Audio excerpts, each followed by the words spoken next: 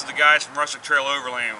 We wanted to make a quick video and explain to you what's going on in season two and what's been going on with uh, Rustic Trail Overland.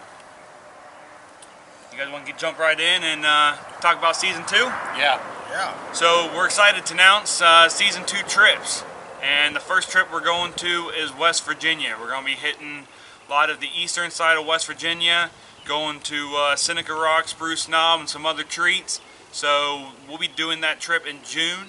And uh, the next trip will be Land between the lakes in August. Yep. You guys going to do five days in Land Between the Lakes. Uh, it should be a good time and a lot of fun. And uh, Matt, you want to round us out for the year?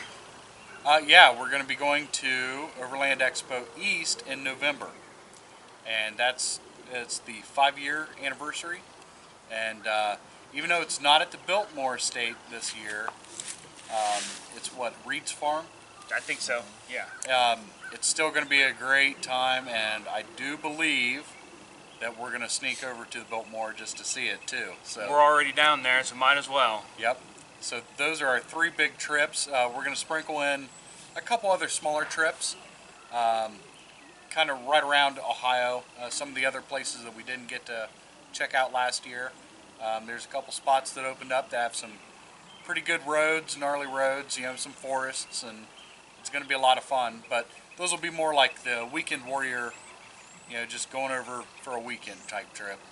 Yeah, so we're really excited about these trips. We've been planning in West Virginia for about two months now, and uh, we got some good treats that we think you guys are going to enjoy. I know we're going to enjoy it. We're uh, really excited about it, and it's crunch time. We got five weeks of preparations to do and get the vehicles ready to go, and uh, look for more build videos coming out from all different rigs, and it should be a great time. Yep, definitely. Can't wait. One of the other things we wanted to discuss that you can probably see that there's only three of us here. Um, Mike, unfortunately, for personal reasons, had to exit Rustic Trail Overland, but he will be showing up in videos and going out with us whenever he can. Anybody else got anything they want to say?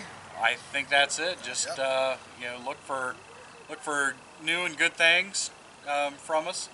Um, we're gonna we've got a couple ideas rattling around right now. That's pretty much it. You know, keep keep a eye on the website.